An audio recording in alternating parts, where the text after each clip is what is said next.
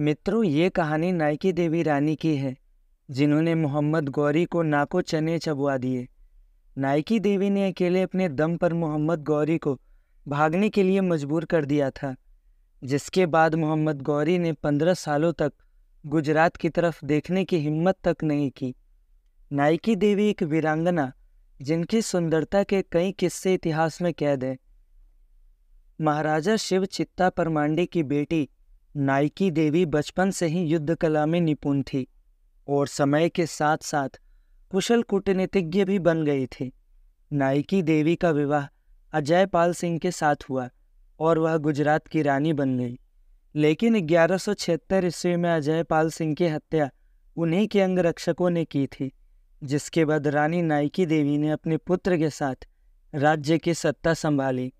उस वक्त मोहम्मद गौरी की बुरी नज़र रानी नायकी देवी के साम्राज्य पर थी और उसने रानी नायकी देवी की सुंदरता के किस्से भी सुने थे।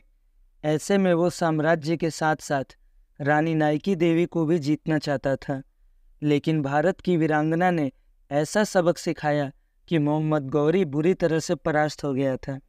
ग्यारह सौ अठहत्तर ईस्वी में रानी नायकी देवी ने गुजरात की राजधानी अनहिलवाड़ा से 40 किलोमीटर दूर आबू पर्वत के पास मोहम्मद गौरी के खिलाफ युद्ध लड़ा था।